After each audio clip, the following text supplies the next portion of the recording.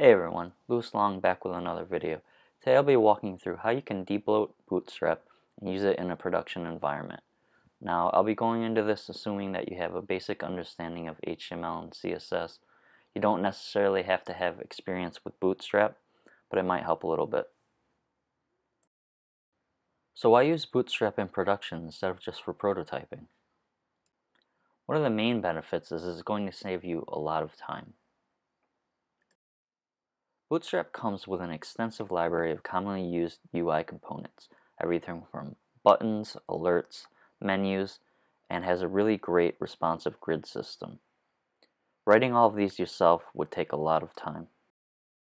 Another benefit is that it's already been thoroughly tested by millions of users and it's cross-browser friendly.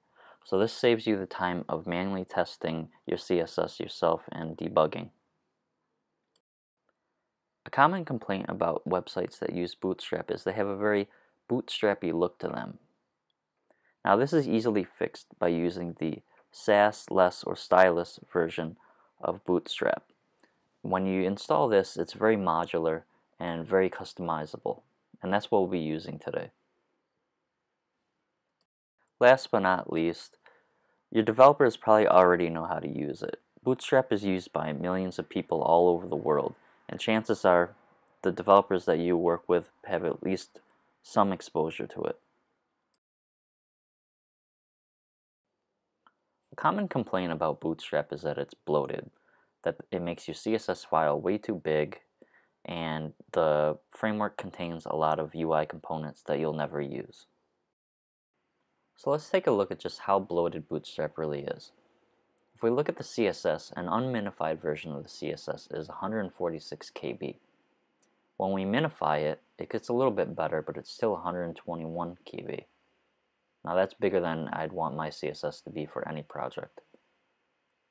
Now if we add the JavaScript library of Bootstrap to our project, we tack on another 70 to 37 KB just for the components, and then they're dependent on jQuery, so we can add another 29.5 KB to that. The result of this is a Bootstrap project can contain anywhere from 121 KB to 245 KB.